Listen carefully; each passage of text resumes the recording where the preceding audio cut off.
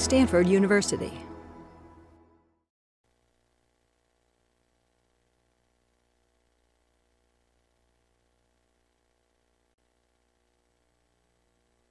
Welcome to EE380, Spring 2011-2012. I'm Andy Freeman. The other course organizer is Dennis Allison.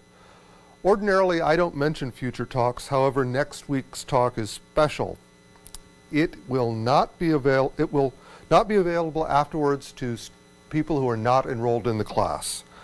Um, if you're not an enrolled student, you can only see it live or via live streaming. It, uh, it will not be available on iTunes or any of the other archival sources. And this also applies to these slides. No slides, so video capture, I guess it is. Um, and I didn't say that. Um, before the term big data came along, we were said to be living in an age of information. But that wasn't true. We, were, we merely had access to a lot more data. And that trend has only gotten worse. And we're really just inundated by bits. It's not data, it's just meaningless bits flowing at us. We don't have a clue of understanding it, and nobody really cares if we do. While today's talk is nominally about medical statistics, it is really about turning data into understanding. Thank you. Uh, I'm going to do a mic check here. Um, so, live from Palo Alto, it's Wednesday afternoon. Live from Stanford. Okay. Their own zip code. I stand corrected. Yeah. I've just been waiting for a long time for that line. Just. Um, I'd like to start off by thanking Dennis Allison for inviting uh, me to give this talk. And uh, this talk basically uh, is based on a paper that just appeared about uh, three months ago uh, that uh, myself and two other fellows published in the UMAP Journal. I think you can tell from the picture the two who still have day jobs. Uh, it is an international collaboration. Uh, Leif uh, is from Helsinki. And like a lot of other things, we met on the internet. So the three of us have never actually met face to face. We've exchanged a lot of email. Um, the other person I'd like to acknowledge, uh, if, he's, if he's watching or will be watching, is Paul Campbell of Beloit College. Paul is the editor of the UMAP Journal and uh, published our, our article when uh, many, many other people uh, were uh, less enthusiastic, shall we say. Um, Paul, Paul has published uh, some of our stuff in the past, and he's been a, a great supporter.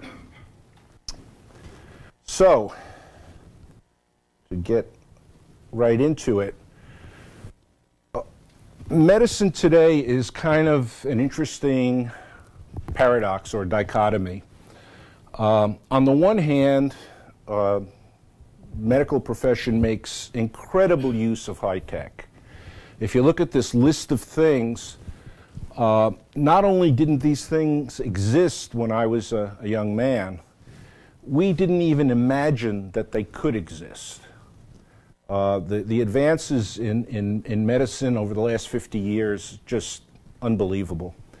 And I, I can actually say that if it wasn't for modern medicine, uh, I wouldn't be standing here today. Um, so I have a, a real uh, visceral feeling for, for the progress. So that's the good news. Uh, the thing that is less encouraging have to do with a whole bunch of other issues that have nothing to do with technology. They have to do with what I would call medical decision making, and that is how do uh, clinicians in the field make decisions about treating patients. And I'm not talking here about researchers. Uh, if you go to the journals, there's, there's tons of stuff in the medical journals that really high quality science. But what I'm talking about here is what happens when it has to get down into the trenches. And there's a couple of indicators here that are not so encouraging. Um, in around 1990, there was a, uh, a movement that got started called evidence-based medicine, and I don't think uh, I need a lot of uh, explanation of what that's all about. Uh, and I've been watching that for about 20 years, and what I have to say is that uh, it's still struggling for acceptance as, as you move down to implementation. Uh, it's something that if you're a, a, physicist or a mathematician or a scientist or an engineer, you look at it and you say, it's obvious. It's something we should be doing. Uh, doesn't seem to be taking the world by storm. Part of this, I think, has to do with the education of doctors, and that's something that is also very interesting to me because back in around 1975, I was responsible for teaching the required physics course for pre-meds at UC Irvine. And all I can say is that I don't think it was a very uplifting experience for the students nor was it very uplifting for me. And part of it had to do with the fact that these to-be doctors had a very, very low level of understanding of even rudimentary mathematics. In fact, many of them weren't competent in arithmetic. Um, now, you know, it is what it is. But once again, I come back 35 years later and I don't see a lot of progress. So that's a little distressing. The, the last one is the one that I'm really the most upset about, and that has to do with patient empowerment. Because we argue constantly that uh, the patient ought to be more involved in his own treatment plan, and he ought to understand what's going on. And once again, what we have is a huge gap. Uh, things that the doctors take for granted, but patients just don't have the vocabulary to deal with.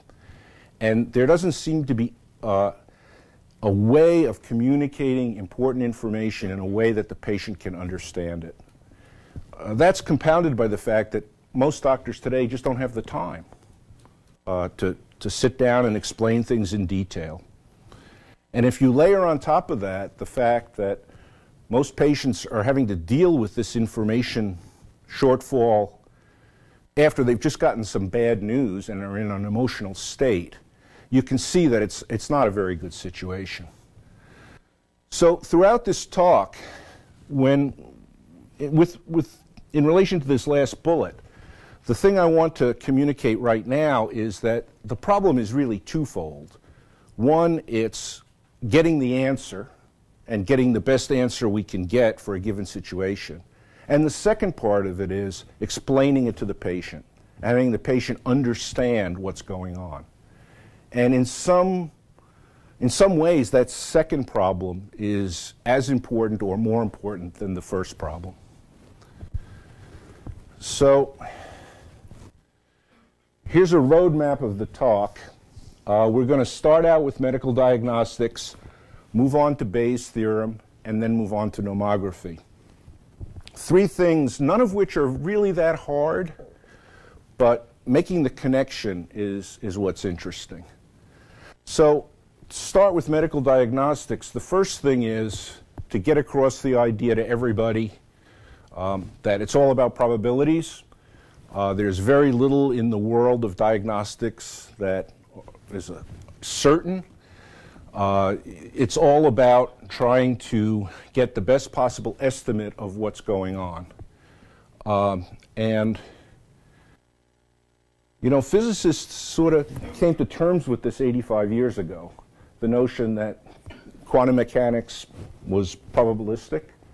Uh, we, we haven't quite uh, sort of gotten that into the mindset of people uh, with respect to everyday things. The next thing is we want a framework for updating our notions of probability. So you start out with a patient and with the suspicion that that patient might have a disease, and you have an idea of the probability that that patient might have a disease, and then you perform a test, a diagnostic test, and you get a result back, either positive or negative. And what you want to do is update your probability. So if the test comes back positive, you're going to raise the probability. The test comes back negative, you're going to lower the probability. And what Bayes' theorem does is give you both a conceptual and a mathematical way of doing that updating. So it's basically um, an apparatus, if you will, uh, for knowing how to update your probability based on diagnostic results. Well, it turns out that there's a piece where nomography can be very helpful. The calculations or the computations are not difficult, frankly, but given the level of uh, just manipulative ability, uh, we find that it's much more interesting to have a graphical technique for doing this so that you can eliminate any algebraic manipulation or computation on the part of either the doctor or the patient. And what we'd like to do ultimately is reduce it to a graph. This is actually a nomogram, a very simple nomogram, resembles a graph. And the way the nomogram works is you have your old probability, you have some scale here that represents something about the test, you draw a straight line through those two points, and you get your new probability over here. So what you want to do is reduce the problem to something that simple. So the rest of the talk is going to be filling in the details of how we go about doing this. And when we get to the nomography part, uh, we're going to have some hands-on, so you're going to actually use a nomogram.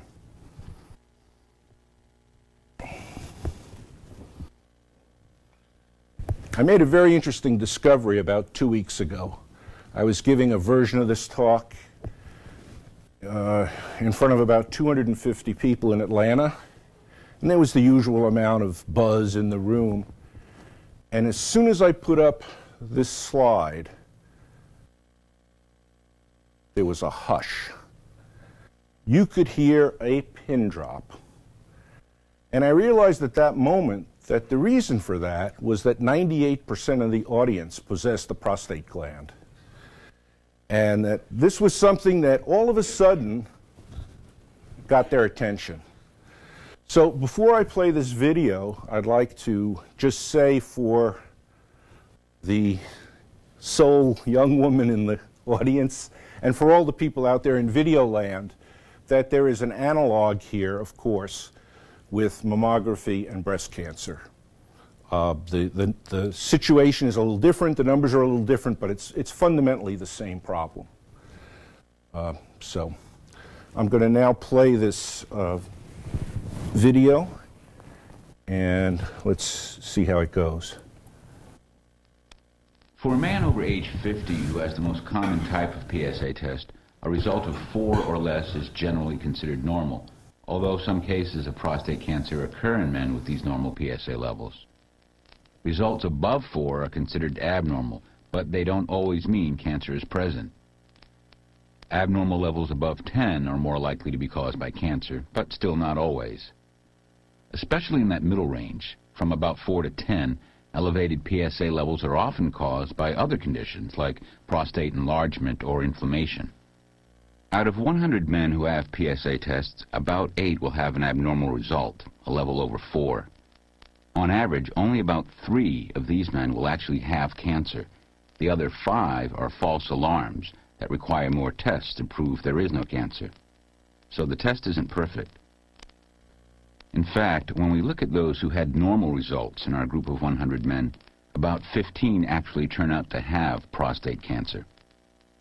Because the PSA test can miss prostate cancers, some doctors use a lower level as the cutoff between normal and abnormal. This catches more cancers, but it also creates more false alarms.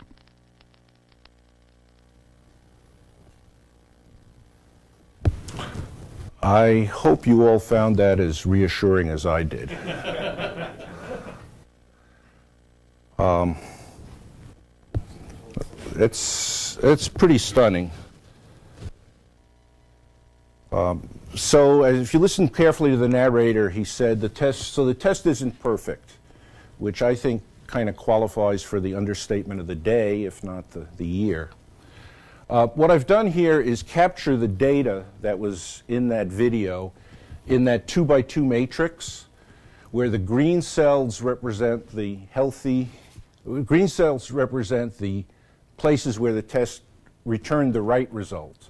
In other words, healthy people were diagnosed as healthy, people with cancer were diagnosed with cancer. The red cells are the places where the test got it wrong. And, you know, we have to agree the test isn't perfect. But the question is, well, how good is it or how bad is it? Uh, for example, uh, there's 15 false negatives out of 18. So it misses five out of six people who have cancer. And of the eight people that it says do have cancer, five of them don't. So those eight people are going to go out and have biopsies, and more than half of the biopsies are going to come back negative. So, you know, that kind of makes you feel a little uneasy about this test. Um, you could ask the question, well, do we have the wrong cutoff? Maybe the cutoff of four is not the right cutoff. But we can see that moving the cutoff either up or down is just going to trade off false negatives for false positives positive and vice versa. And we have to believe that four is the right cutoff because if there was a better cutoff, we'd be using that one. So uh, we can't look there to, to get any solace.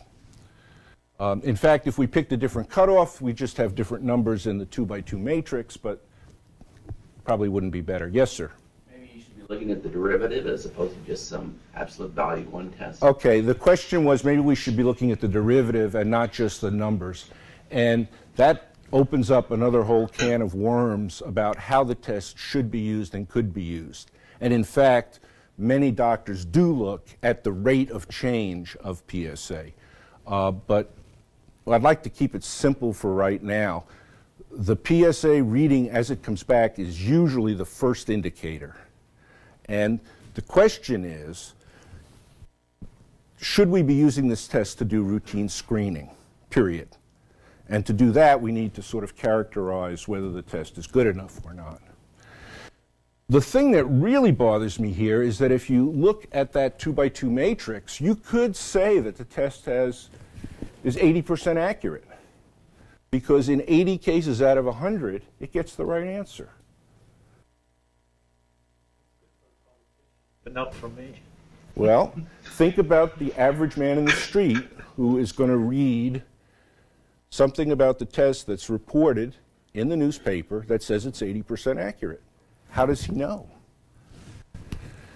So, yeah, I mean, anything that you read in the popular press is going to have that kind of issue. So, what we have here, or what we believe we have here, is a test characterization problem. It's not good enough to say the test isn't perfect. We have to put a number on it. And based on that, decide, you know, what to do.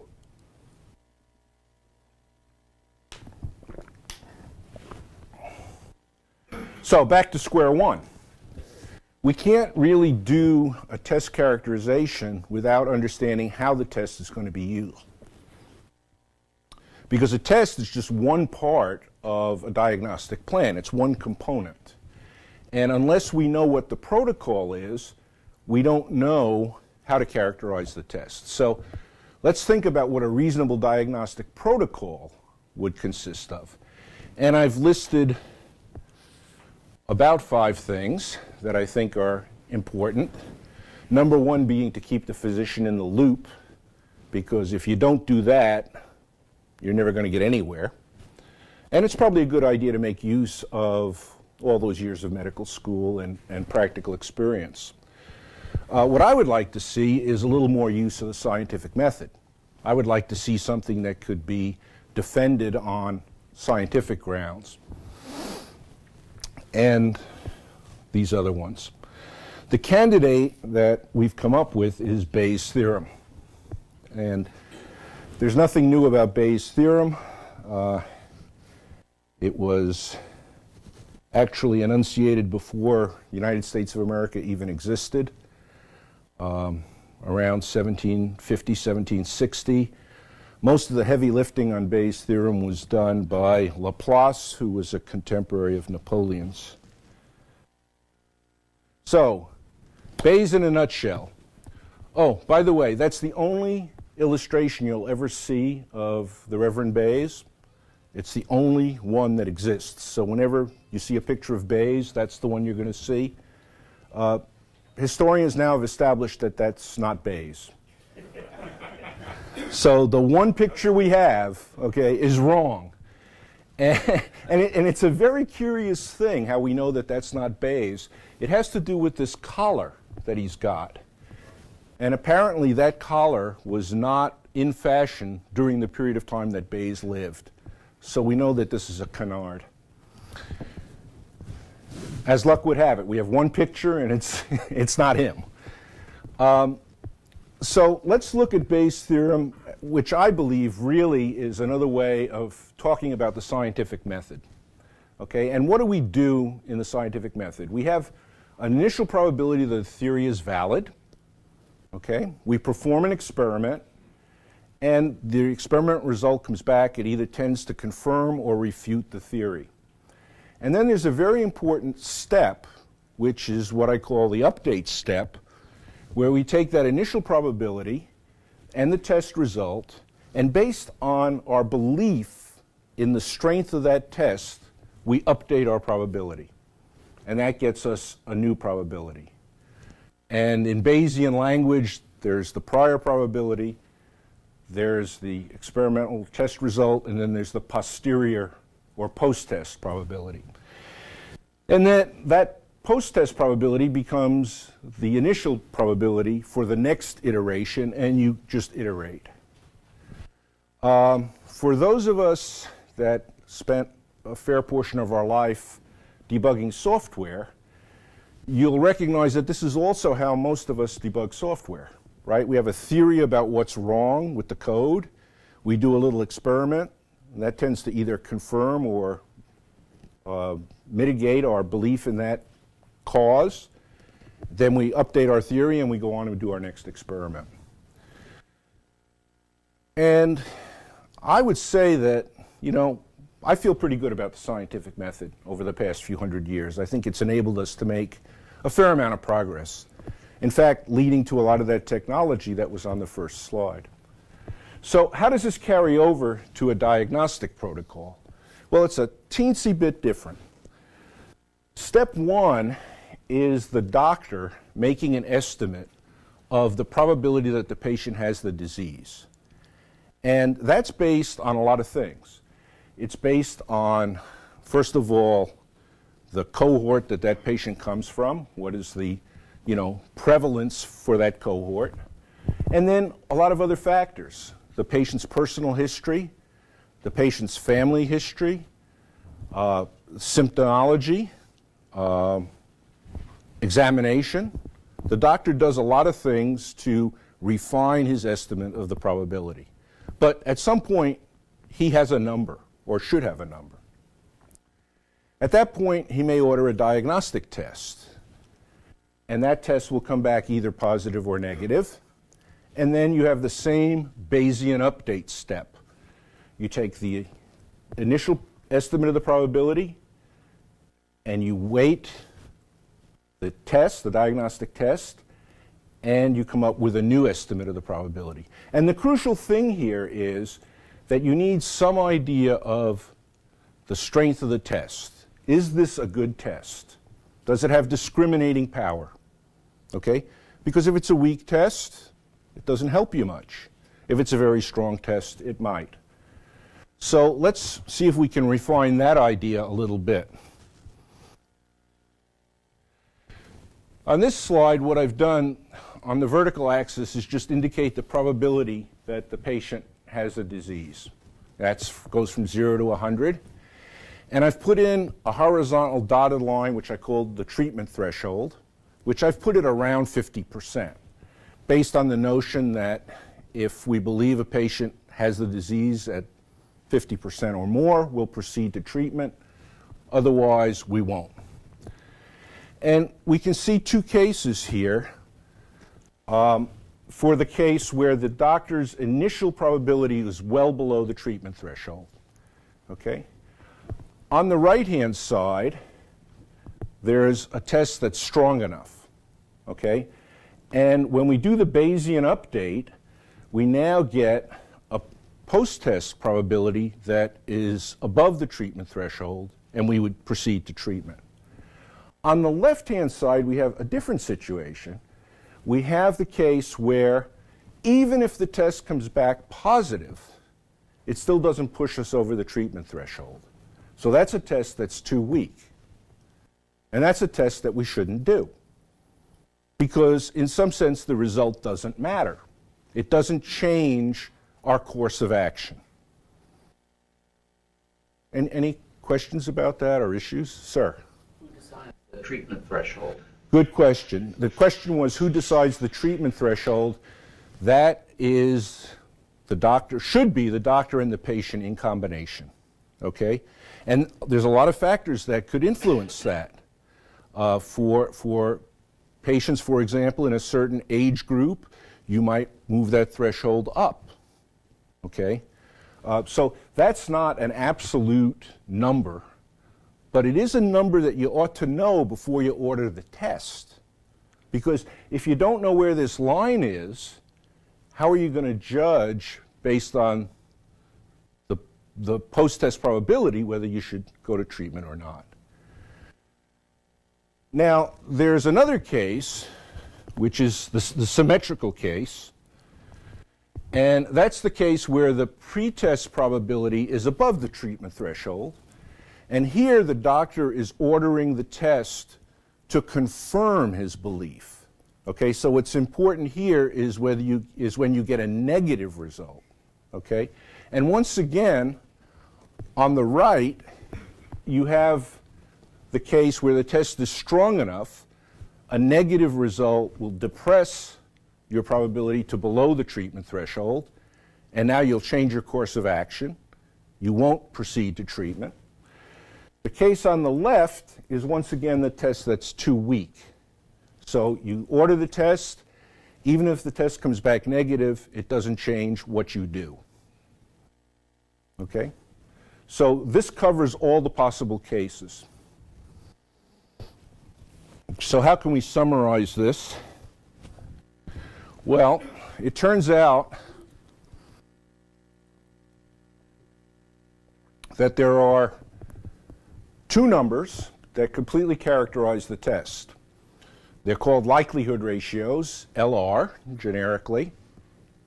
LR plus is the likelihood ratio that is used when the test comes back positive. LR minus is the likelihood ratio that you use when the test comes back negative. And in some sense, they both characterize the length of the arrow. So the, the better likelihood ratios have a longer arrow. And conceptually, this is actually pretty simple. Okay? The likelihood ratio is, in some sense, a multiplier.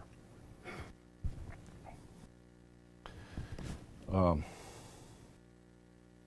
so, so conceptually, there's nothing really challenging here. But now we sort of get whacked by something we don't expect. Because it turns out that there's a little bit of algebra you have to do. And the reason for that is that Bayes' theorem works with odds and not probabilities. So what you have to do is this little dance where you start with a probability, you do some algebra, you convert it to odds, and then you apply Bayes' theorem, which gives you the post-test odds from the pre-test odds using the likelihood ratio. And then you have to convert back from post-test odds to post-test probability. Because it's a three-step dance, I called it a waltz. Uh, feeble attempt at humor. The, the issue here is that basically people don't think in odds. If you want someone who's very conversant in odds, you have to go to the track. And there you'll find somebody who knows that a $2 ticket pays back 8 bucks. Uh, but normally people like to deal in probabilities. So, so that's one, one problem, okay? This, this little bit of algebra turns out to be the Mount Everest of this problem for the average person, believe it or not. And, and I know it's hard for the people in this room to accept that, but um, when, when, you, when you deal with real people, this is, this is the kind of thing that you run into. Now, it turns out there's actually a second place where you stub your toe, and that has to do with the notion that the likelihood ratios for a test are not always what you find in the literature. In fact, there are two other numbers called the sensitivity and specificity of a test. And very often, when you look up a test in the, in the manuals or the handbooks or whatever, those are the numbers that you find. Well, once again, this is not insurmountable. There's a little bit of algebra that takes you from sensitivity and specificity to the likelihood ratios. And back. I mean, it's a two-way transformation. Yes. You know, when you started, you were talking in terms of percentages, which aren't probabilities. and that- Right. So, I don't know, do people have a problem with that too? Because I'm beginning to think this is really down in the weeds here. Well, most people will. The, the question was I was talking before about percentages, and percentages are not probabilities. Most people can make the leap that 0.5 on the probability scale is 50%. That, that you know, we can get over that. Um, the real problem has to do when you interject odds, because th that just throws people for a loop. And down here, once again, uh, these numbers have different scales. Uh, sensitivity and specificity both range from 0 to 1. It's a, it's a decimal number between 0 and 1. The likelihood ratios are different. LR plus can go from 1 to infinity, because it's an odds multiplier. LR minus goes from 0 to 1. So if your likelihood ratios are equal to 1, your test is completely useless. Okay, there's no, there's no multiplier. You can sort of explain almost all of this to people and they will get it. What they can't do are the transformations. Okay? And as I said, this is, this is really and truly annoying because for us, this is just a mechanical problem, right? So my colleagues and I looked at this and we said, aha, this is a job for nomograms, okay?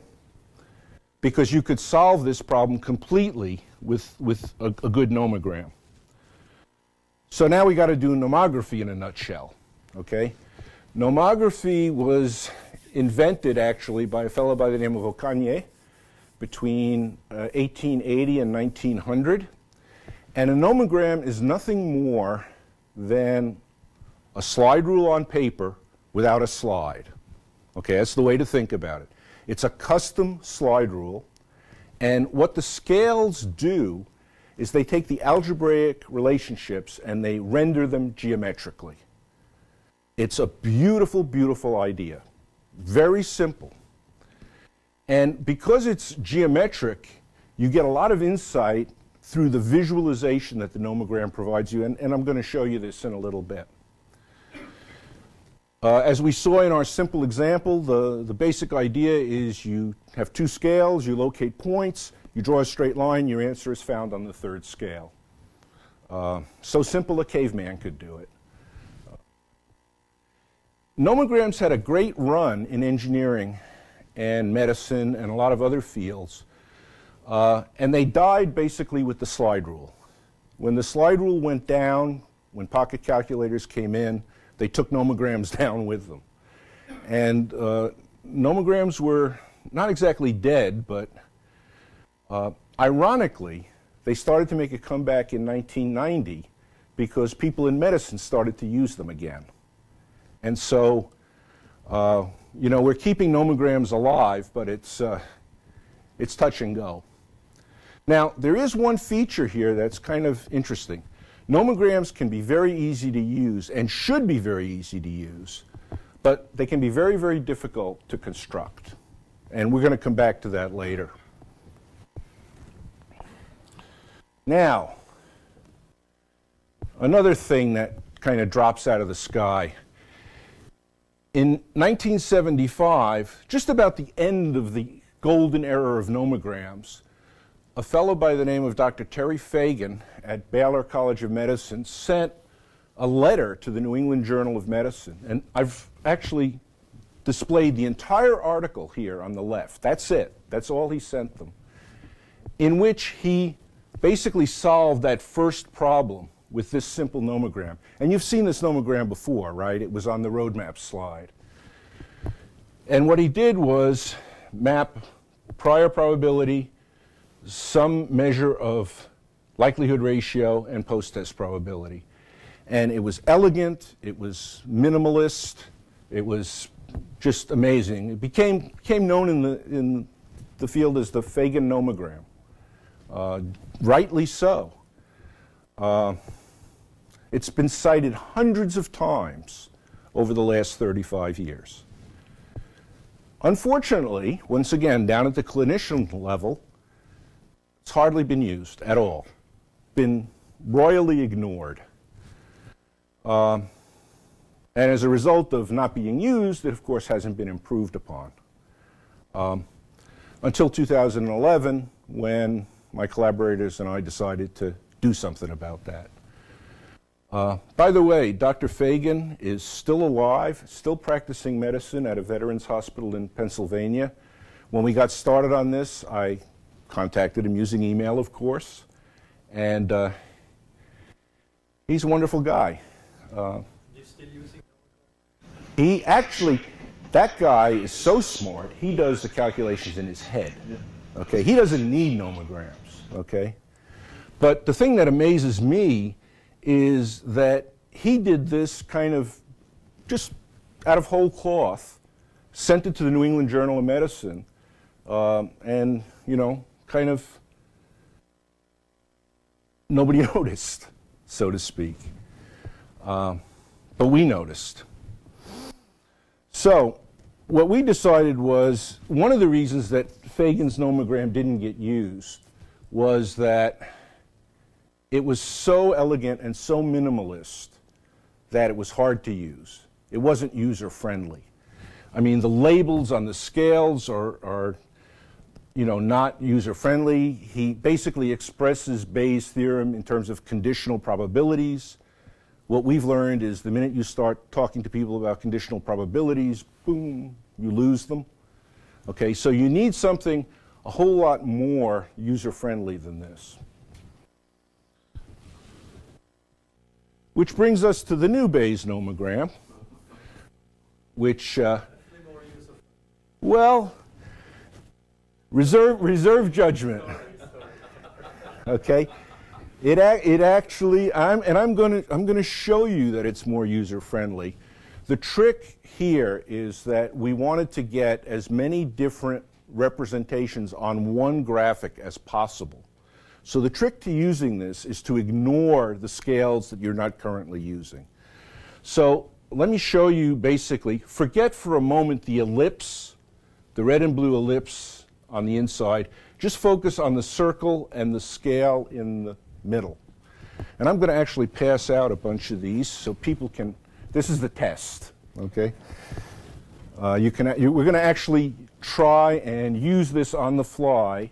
And I'm going to show you, even though you've never seen a nomogram like this before, that it's uh, perfectly usable. Okay. Any other victims? Oh, wait a minute. I'm going to I have a comment. I have a comment about that, Scott. Okay, you, you all brought your straight edges, right? Okay, if you didn't bring a straight edge, you can use the edge of your iPhone. oh, wait a minute. Well, maybe you haven't brought your. Okay, so I did bring some straight edges. Uh, can pass these back. Why don't you take care of getting these distributed to the right people. Okay, so notice that down here on the bottom, there's something called pretest probability. And on the other side of that scale, we've put the odds. So people who want to go back and forth between probability and odds, that's just all mapped there. On the upper half of the circle, there's the post-test probability and odds. Okay? So let's, let's see how this would actually be used, and you, can, you folks can, that have them can play along. Um, let's go back to our test. If you know nothing about the patient at all, you know that the pretest probability is 18%, because 18 people out of 100 are diseased. So find on the bottom 18% on the pretest probability scale. Locate that. Now it turns out that this test has an LR plus of 2.8. And if you come up to the middle here on this axis and find 2.8, okay, now you have your two points. So take your straight edge from 18% through 2.8 and go up to the top. And what post-test probability do you get? About 38%, right. So you have your answer. You're done. As fast as you can draw a straight line. Now, there's some other things that you can do with this nomogram. Suppose, for example, someone says to you, okay, we're going to stick with this LR plus of 2.8. We're going to stick with this test. And we're going to assume that 50% is the treatment threshold. By the way, this test is too weak, right? Because it only gets us to 38%. And if our treatment threshold is 50%, we're not there. So we would not use this test for routine screening. It's just not strong enough. But suppose someone said, we are going to use this test, and we, we are going to keep the post-test probability or the treatment threshold at 50%. What does the prior probability need to be for this test to be useful? Well, you can, you can figure that out using your nomogram, right? Because you can put post-test probability at 50%, go through the 2.8 point, and find the point on the prior probability scale that would make that test good enough. And if you do that, what number do you come up with? Pardon? 27. 27, approximately right, 27, 28%. There's another calculation you can do. Okay? Suppose you stay with the 18% and 50%. What then does the power of the test have to be to be good enough? If you were looking for another test that would be powerful enough. Now you put prior at 18, post test at 50%. Where does it intersect this axis?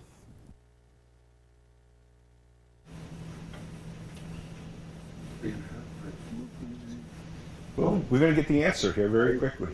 I think it's about four point something.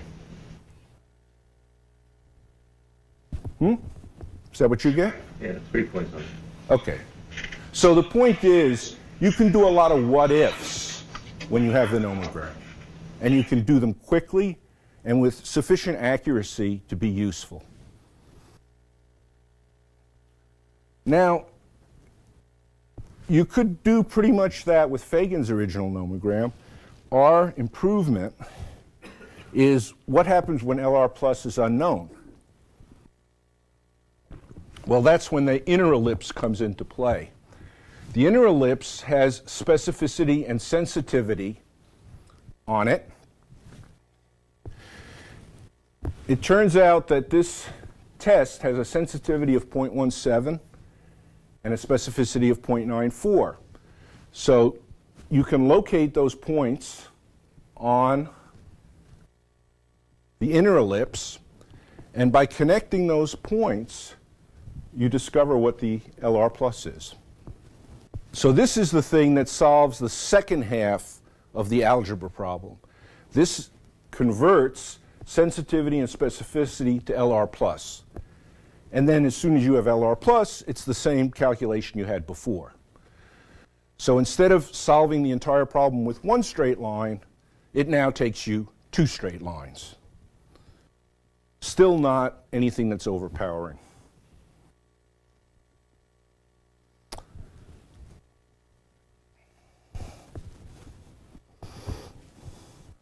So, the rest of this is sort of what I would call mopping up, a lot of details. Obviously, you can use the nomogram to do the same thing for LR minus. In other words, the thing that we just did was for a, for a positive test result. But you can use the same nomogram if you're going in the opposite direction, if you're doing a test, uh, you know, where you want the result to be negative. The nomogram, if you look at it in some detail, has several other scales superimposed on the same graphic that allow you to determine the important parameters in three different ways, actually. You can start with the original 2 by 2 matrix and do some calculations that will allow you to use a nomogram to get to LR plus and LR minus. Uh, let me just say in general that you don't have the 2 by 2 matrix. That generally is not what's published. Okay? Generally what's published are either the likelihood ratios or the sensitivity and specificity. And I've showed you how you can use the nomogram if you know either LR plus, LR minus, or sensitivity and specificity. So we basically have enough scales on that nomogram to cover all three cases. As I said, in practice, what you see most of the time when you look up parameters for a test are sensitivity and specificity. Now, it's important to note that the test parameters, whether they're sensitivity or specificity or uh, LR plus and LR minus, are cohort specific. In other words, they depend on data that was gathered from a certain cohort. And if the person that you're going to apply this test to is not typical of that cohort, then all bets are off. Okay? And that's an important thing to remember. Um, the interesting thing about this is that in some way the protocol is actually doubly Bayesian in the following sense. An individual's post-test probability just results from a Bayesian update based on the test parameters. But where do the test parameters come from? The test parameters come from historical data, which is constantly being updated as more and more people get tested. And those parameters themselves are updated using a Bayesian update, right? Because you start out with certain parameters, you have various new subcohorts that are added, and those tests have various strengths, and you adjust your test parameters by doing basically a Bayesian update. So uh, that's one of the things that gives this thing very a great deal of strength over time is that the parameters themselves are undergoing a Bayesian update. For those of you that have the nomogram um, that I passed out, if you turn over on the back, let me just borrow this for a second. I don't have a slide of this. There is a second nomogram on the back which is designed for rare diseases. And the reason for that is when you have a very low pretest probability, you need a very high LR plus to make the test important, uh, strong enough. In fact, in some cases, you might have to do multiple tests. Okay? The scaling of this nomogram has been adjusted to expand the uh, um, sensitivity, if you will, in the region where you need it the most which is low pretest probability and very large LR pluses. All of this uh, is described in much more, let me give this back. All of this is described in much more detail uh, in the article uh, where we go into this basically uh, we take a, we take a sample problem and we, we basically go from beginning to end uh, with all the numbers in place. So, remember I said that one of the problems was that nomograms were easy to use or should be easy to use, but hard to construct? Uh, back in the early 60s, when I was in engineering school, this was something that they actually taught engineers. Uh, it was part of our, it was actually part of our engineering courses and part of our uh, mechanical drafting courses, if you can believe that. Um, but, you know, we're now in the 21st century. So if we're going to use nomograms, it shouldn't be, you know, the labors of Hercules to create them. Um, so one of my collaborators, Leif Roschier, the fellow in Helsinki, has written a package in Python, and this is one of the connections to this audience, uh, which is unbelievable okay? What it allows you to do is write a Python script that describes the relationships implicit in the nomogram, and also, as part of this script, describe all the aspects of the display. Okay, whether the scales are parallel, circles, you name it. That's your input, a Python script, and the output is camera-ready PDF. In fact, the nomograms that you see here were all created with Pynomo. Okay, they were all computer generated. And this is actually something that when I first saw it, I didn't believe it. Uh, because for me, it said, this is one of the things that's going to allow nomography to survive because we no longer have to train nomographers. Uh, if someone understands what a nomogram is, they can now write a Python script. Leif is also working about on getting sort of the same idea to be able to build nomograms that will be uh, displayable on iPads with some interactive capability as well. Uh, because he's basically got the engine over here, the Python engine, to do this. Uh, and that project is, you know, in, in pretty good shape. Uh, we're, we're struggling a little bit with finding people to beta test it. But that's sort of a reflection of the state of nomography, not the state of the Python package. Uh, and this package, in the hands of someone really competent, Ron Doerfler can take this package and just generate almost any nomogram you'd you'd ever be able to conceive of. Uh, so uh, what I like to call the new nomography is the ability now to generate the artifacts, the hard copy, uh, programmatically.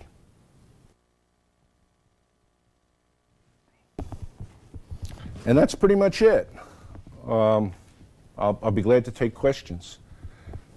Vince. Okay, this is intensely analog. What about going digital? Why don't you just uh, make it a phone app or something? So the question is, why bother with nomograms? Why not just write a smartphone app? And the answer to that, from my point of view, is goes back to the two-part problem. Yes, the iPhone app would allow you to calculate the answer. You could input sensitivity and specificity and pretest probability, and boom, out would come post-test probability. So you could do graphics too. But the point is, for me, the problem of communicating to the patient, okay? And what I believe is extremely useful about the hard copy and sitting with the patient with a straight edge and a pencil and drawing the lines is he can actually see what's going on. And you, it's also self-documenting, by the way, okay? Because he can take that home and, you know, look at it after the fact, after he's out of the doctor's office. The doctor can also sign and date it and put in the patient's file. Um, there's a lot of other places where it's useful. Uh, imagine you're in the third world where you don't have access to the internet or a lot of computing resources, but you still have people who have diseases. Okay? Nomogram doesn't require any electricity, uh, no batteries. Uh, you know, uh, if you got a straight edge and the nomogram, you're in pretty good shape. So we think from that point of view, there are certain advantages that tend to be overlooked. And uh, yes, um, there's, a, there's a place for smartphone apps. Um, I just think as a patient, if I'm sitting there and I, and I watch the doctor punch four numbers into the smartphone and he says the answer is X, uh, it's, it's the black box problem, okay? You have to trust that piece of software. Yes? What's the reaction of doctors been? Um, it's hard to get them to listen.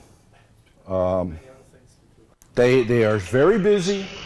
This is, this, first of all, the, just the whole protocol of doing a, you know, it, explaining this as a Bayesian update is tricky.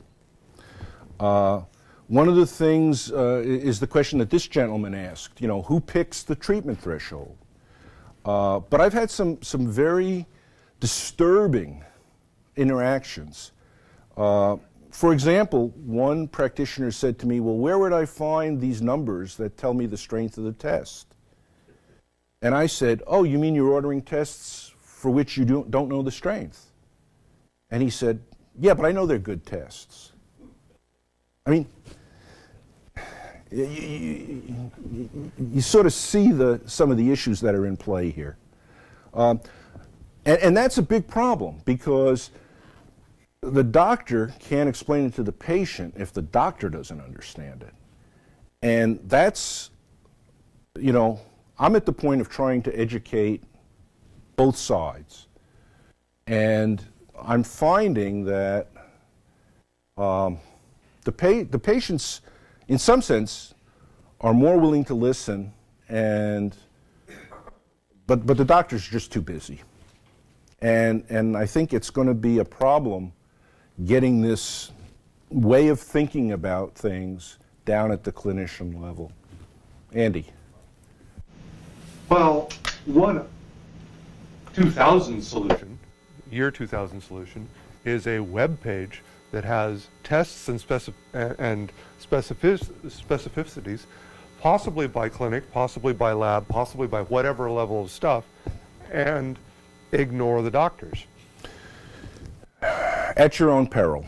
Okay, and, and here we run into a different problem, which is if you go out on the web and you start looking for sensitivities and specificities of tests, you will find them.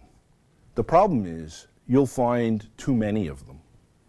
And once again, it's very dangerous for the man in the street to start looking at this and, you know, not picking the wrong values for the test that's being proposed in his case. So, to my way of thinking, the doctor has to be involved.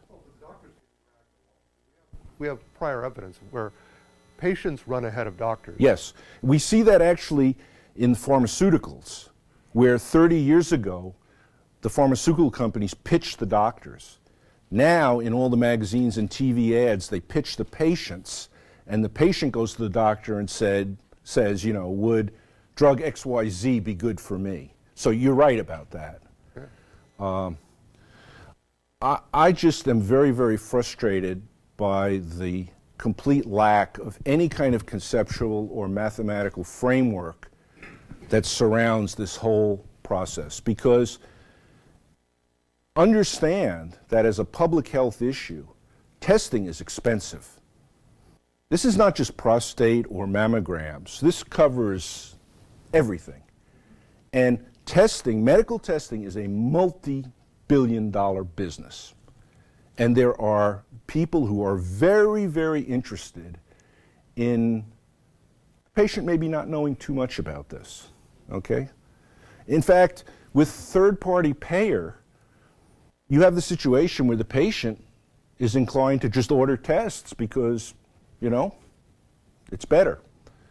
The doctor, of course, is on the same page because if he's ever brought into court for malpractice, he can always point and say, look, I, I did the test, you know?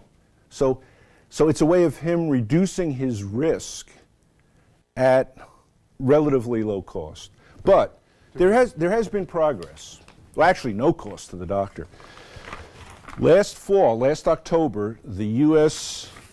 Preventative Services Task Force actually came out with a recommendation that prostate testing no longer be routinely done.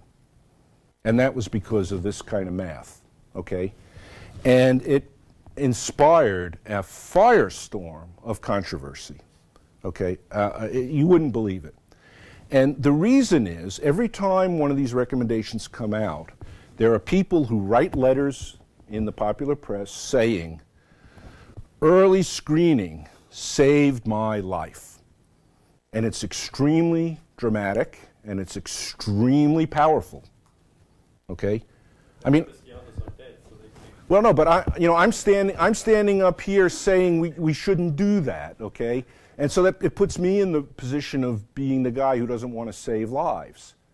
Well, you got to understand that saving lives is a good thing, but it's one half of the problem, okay? Think about all the people who were diagnosed false positive and all the hell that they went through because of that. And the, you know, remember we said of the eight biopsies, five of them are going to come back negative? Okay? Well, all eight of those biopsies got charged for. Okay? The really interesting, the really interesting thing about this is the head of the American Cancer Society, the chief medical officer, is a fellow by the name of Brawley, Otis Brawley. And he wrote an article after this recommendation because, as I said, it was extremely controversial. And he backed the recommendation, which was, you know, no more routine testing. And at the end of this article, I'm just going to quote the last paragraph of the article. And he says, more than anything, the battle over prostate cancer screening raises a disturbing question.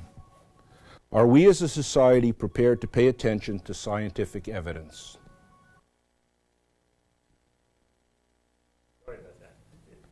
I'll say it again.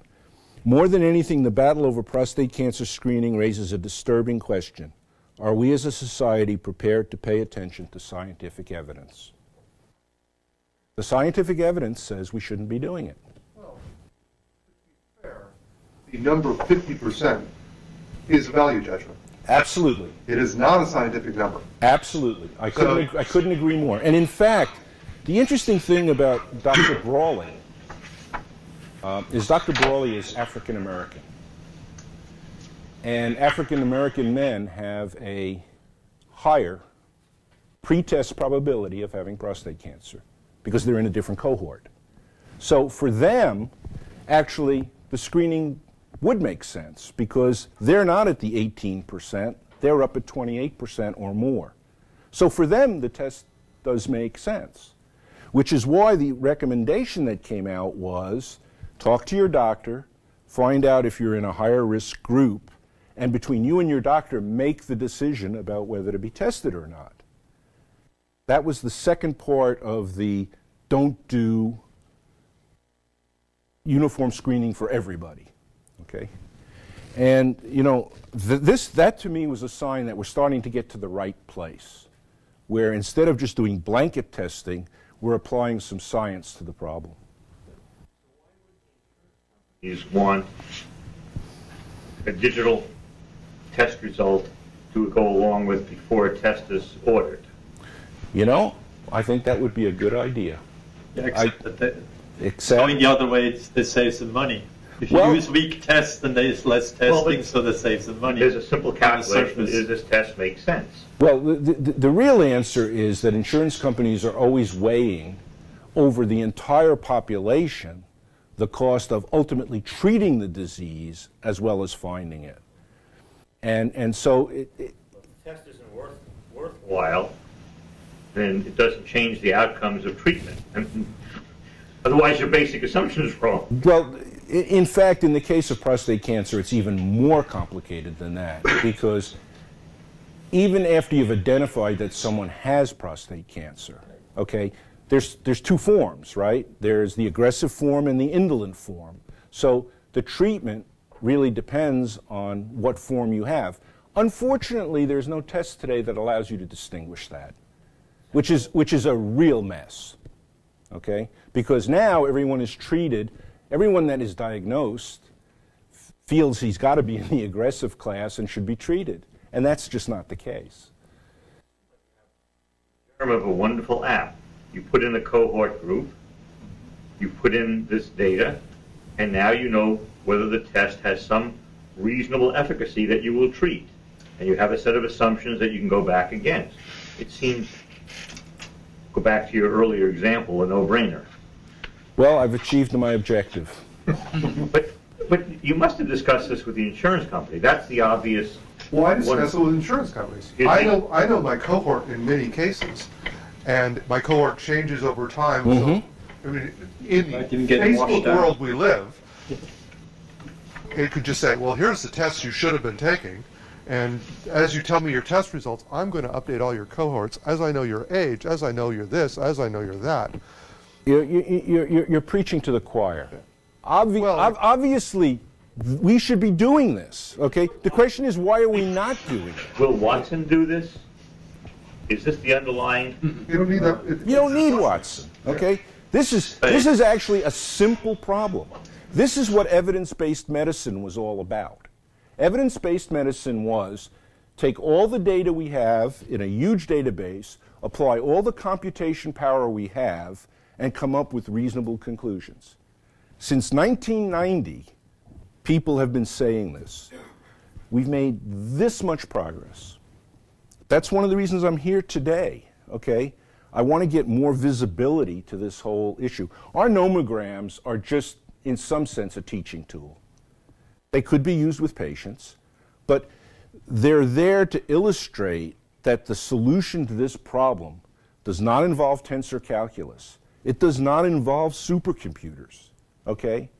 We have the data and the tools we need to do a better job of addressing this problem, and we're not doing it. fishing on the web, I'll get too much data. Well, once again, the researchers are cranking out tons of data every day. You go to the journals, there's, there's data galore. What's not happening is what I would call intelligent classification, stratification, all the data mining techniques that, my God, I mean, you guys are computer scientists. You, you, you know that this technology exists, right? I mean, we can data mine anything. But for some reason, this, you know, is not, uh, maybe it's not fashionable. I don't know. Well, if, if a journal publishes their final results, that's like one number, a couple numbers. But what you want to do is compile the original data that are they're raised, like for every single individual. Yeah. And I don't think that data is not a There- database with all that original. There, is- there's actually a fellow that's doing this out in Cleveland, Cleveland Clinic, a fellow by the name of Dr. Michael Kattan, uh, who has done all of these multivariate uh, slice and dices on huge amounts of data. He's one of the leaders in this evidence-based medicine thing. He and I, in fact, have written a paper together called "What is a Real Nomogram," um, which which was published in Seminars in Oncology. Okay. He's a voice in the wilderness. I, I hate to say it. Um, you know, he's a PhD. He's not an MD. Well, there is a solution to this problem. Uh, but the problem is, the problem exists at the intersection of medicine, science, and commerce. Okay? And we should never forget the commerce part. Okay? Um, I, I would love to see us do a better job of this. I, I don't have anything against the medical profession and doctors. I really don't. I think they've done a lot of really great stuff. I just think they could do better if they applied a little more science and mathematics to, to what they do. And uh, you know, I'm, I'm going to continue with this because I think that there's, I think there's still a lot of low-hanging fruit here that should be harvested. Program numbers on TV? Yes. A medical episode using this somehow. Numbers has been canceled. Ah, more proof of my hypothesis. So you Sir. can revive it under a different category. You mentioned early on the algebra for converting from probabilities to odds and then from odds back to Yeah. probabilities. Um, I hadn't realized the distinction. Would you mind elaborating what that conversion involved? Oh, it's, it's trivial. Um, if you have a 50% probability of something happening, that's even odds. Okay? One to two? One to one. One to one. Okay? If you have a 33 and a third percent chance of something happening, that's one in three. So the odds are two to one against. If you have a 67% probability, the odds are two to one for. Okay? So it's a lot easier. An algebraic big deal. No, it isn't. No, that's exactly my point. It's it's it's it's arithmetic, okay? But people can't do it. You give that problem to most doctors, and they'll throw you out of their office. Okay? And they pass you on to another one.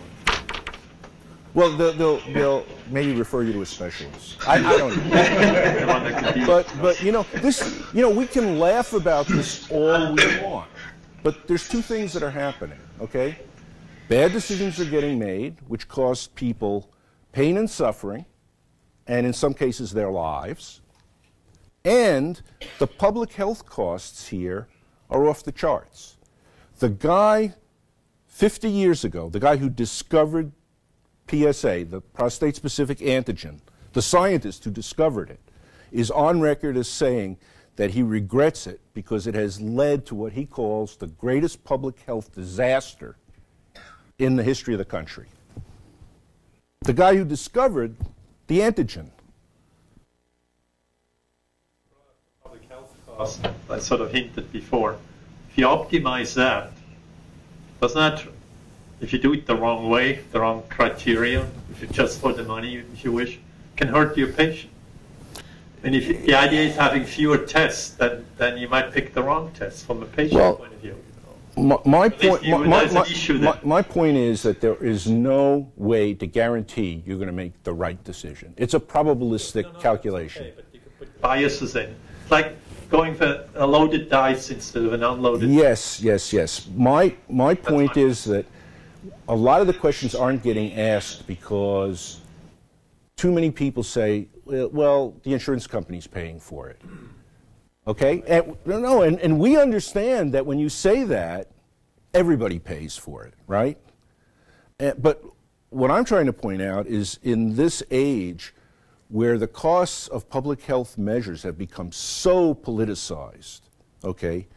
I mean, because of the health care bill and the you know, incredible backlash that that's created, I think we can no longer ignore these public health costs. They've become huge, huge. And, and the problem with things like universal screening is when you have that kind of program, you just got to multiply by the number of people in the population, and you get some big numbers. Okay? I don't think we can continue to ignore those numbers. End of rant. PSI. When I finally saw a history of my PSI, PSA. it went, went down, I was happy. Yeah. Well, very simple.